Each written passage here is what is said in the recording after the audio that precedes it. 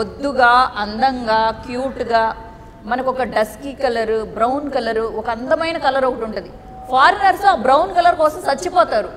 నేను ఫారిన్ వెళ్ళినప్పుడు యూ మీకోసం చచ్చిపోతారా? నాకు నా కోసం నువ్వు చచ్చిపోయావు బ్రౌన్ కలర్. నేను ఎందుకు లేండి? బ్రౌన్ కలర్ అన్నారు కదా మీది బ్రౌనే అక్కడ ఫారిన్లో. నాది బ్రౌనేనా? ఎక్కడ? Brown colour. అక్కడ ఇక్కడ అంటున్నావు ఏంటి నువ్వు? నేను అంటుంది వామ్మో. నేను అంటుంది ఫేస్ అండి స్కిన్ టోన్. బూతులు మాట్లాడుతున్నావు నువ్వు ఇప్పుడు?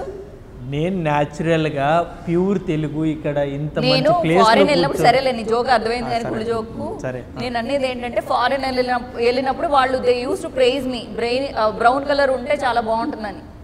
బాగా పొగిడారా మిమ్మల్ని? ఆ. అంటే నా సామాన్లు అవి చూసి వావ్ వాట్ ఏ బ్యూటీ అని అన్నారు. ఫారినర్ ఫారినర్స్ కూడా నచ్చాను కానీ మన దైతులకు నచ్చలేదు ఏందో నాకు అర్థం కాలేదు. ఎందుకు నచ్చలేదంటారు?